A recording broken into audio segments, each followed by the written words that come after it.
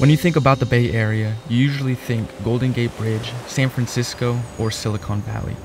You wouldn't think that there would be a beautiful city sitting on an island hidden in the heart of the Bay Area.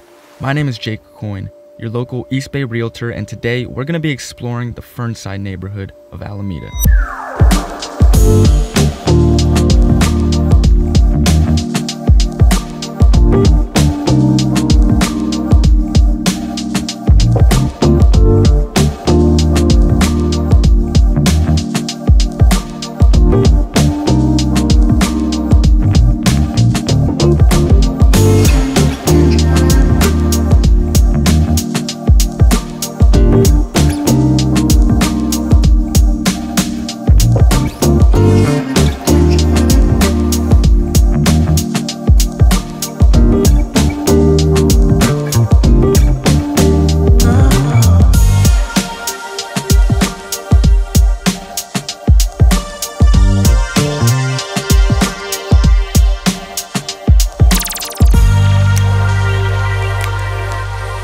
The beauty of Fernside lies in the architecture. The homes are quite unique from the next, offering charming styles like Tudors, Craftsman's, Mediterranean revivals, and even sprinkled are some Victorians. Now, on average, these homes were built around the same time frame in the 1920s and 30s, but this older charm brings out a character and personality of their own, making it no surprise that this neighborhood is one of the most expensive on the island.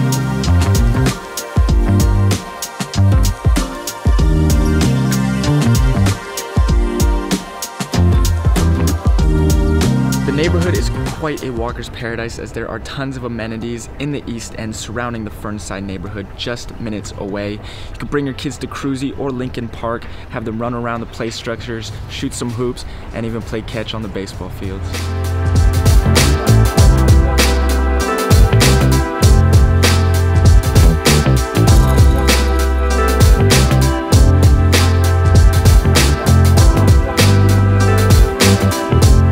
East End also offers some of the island's top rated schools like Otis Elementary, Lincoln Middle School, and Alameda High School that's located in or nearby the neighborhood, offering an easy commute for all your kids to walk to and from school with all their friends.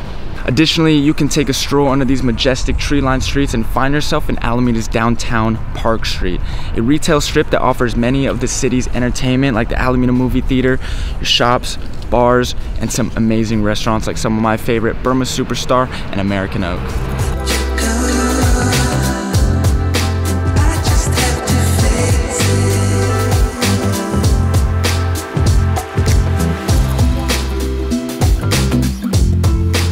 Thank you so much for coming along. I hope you enjoyed this video tour. I'm Jake Coyne, and this is the Alameda Neighborhood Spotlight.